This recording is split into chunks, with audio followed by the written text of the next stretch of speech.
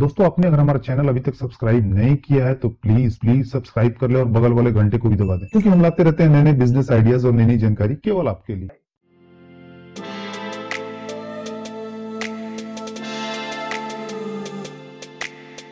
जो भी पढ़ने वाले लोग होंगे, आपका भाई हो, आपकी बहन हो, आपके घर में आपके बच्चे हों, वो सभी किताबें जो है रजिस्टर और किताबें हमेशा खरीदते होंगे। चालीस पचास रुपए का एक एक रजिस्टर आता है आज के टाइम पे।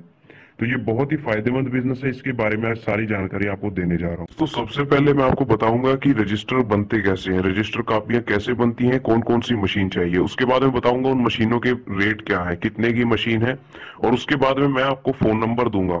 सारा खर्चा बता के मैं आपको फ़ोन नंबर दूँगा। उनका जो ये मशीन्स और ये रॉ मटेरियल जितना भी आता है रजिस्टर कॉपियाँ बनाने के लिए, ये सब आपको प्रोवाइड कराएँगे। उन सभी के फ़ोन नंबर भी मैं आपको दूँगा। देखिए नोटबुक्स ये किताबें बनाने के लिए सबसे पहले आपको रॉ मटेरियल खरीदना पड़ता है। रॉ मटेरियल की जो कीमत है वो मैं आपको बता देता हूँ। ये आपको जिससे आप मशीन लेंगे, वही आपको सारा रॉ मटेरियल प्रोवाइड करा देगा। अब इसके बाद में शुरू करते हैं, किस तरीके से नोटबुक बनती है कौन कौन सी मशीन चाहिए।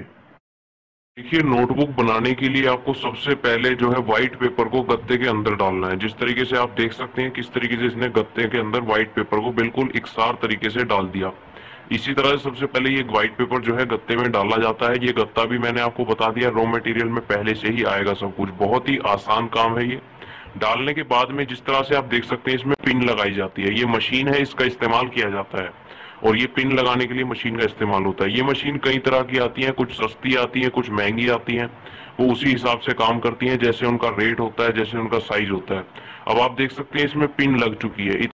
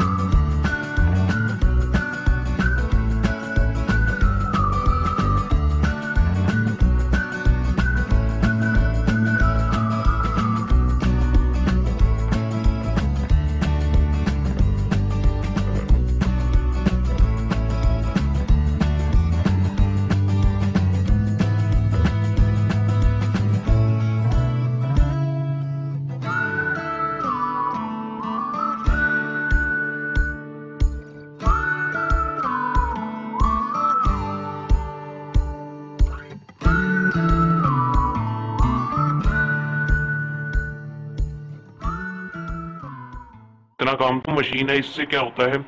इसे जो है चकोर किया जाता है, नीचे से इकसार किया जाता है, बिल्कुल। जो नीचे की तरफ़ आप देख पाएँगे, यहाँ पे बिल्कुल इकसार कर दिया जाता है, प्लेन। तो इस मशीन का इस्तेमाल होता है, जिसमें नीचे रोलर होते हैं, इससे इकसार किया जाता है, इस तरीके से इसमें किताबें ये जो डाल के सारी। अब इसके बाद में जो चीज़ शुरू होती है, वो होगी इसके बाद में कटिंग की। पहले आप देख लीजिए ध्यान से किस तरीके से इसे रोलर में डाल के थोड़ी देर रखा जा रहा है, ताकि ये नीचे से बिल्कुल सही तरीके से इकसार हो जाए। अब आप देख सकते हैं, ये बिल्कुल इकसार हो चुकी है नीचे से।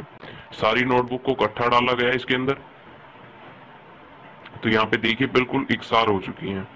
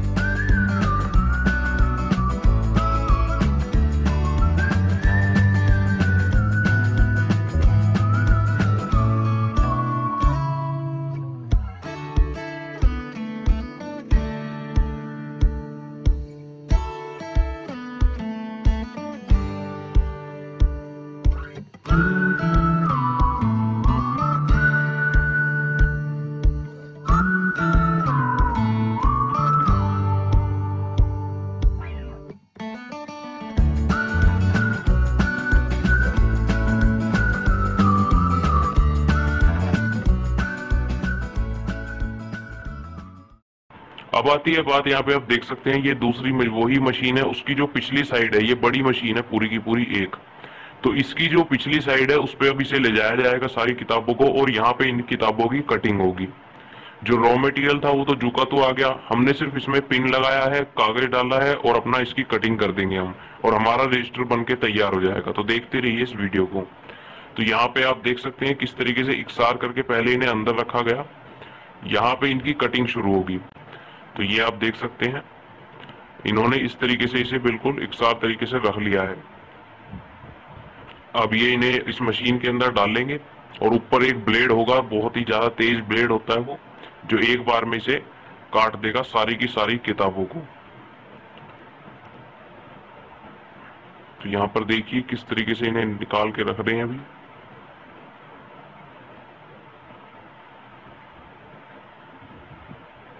अब देखिए, अब इस तरीके से इन्हें रखा गया बिल्कुल इकसार करके। ये इन्होंने, ये देखिए, ये ब्लेड चल गया।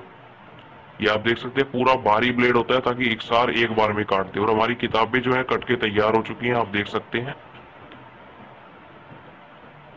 ये काम हमारा हो गया कंप्लीट। हमारा रजिस्टर जो है, बिल्कुल बन के तैयार हो चुका है। अब हमें कुछ नहीं चाहिए, डायरेक्ट हमें इसे बेचना है और कुछ नहीं करना। रजिस्टर बिल्कुल बन के तैयार हो चुका है। तो अब इसे थोड़ा सा ये इकसार करेगा, जो फालतू की चीज़, जगह जहाँ भी होगी, उसे ये सही से ब्लेड से कट कर देगा। आप देख सकते हैं, ये फिर से वही कर रहा है। ये देखिए फालतू का सब कट हो गया बिल्कुल और हमारा रजिस्टर बन के बिल्कुल तैयार हो चुका है। अगर आप हमारे चैनल को पहली बार देख रहे हैं तो हमारे चैनल को सब्सक्राइब कर लीजिए और बेल आइकन को भी दबा लीजिए। इससे हमारे चैनल पे जो भी वीडियो अपलोड किए जाएँगे उसकी सूचना आपको दोस्तों इस वीडियो में इतना ही। उम्मीद करता हूँ कि आपको ये वीडियो ज़रूर पसंद आई होगी। तो प्लीज़ वीडियो को लाइक और शेयर करना ना भूलिए और चैनल को सब्सक्राइब कर लें ताकि नए नए बिज़नेस आइडियाज़ पहुँचे सबसे पहले आपके पास।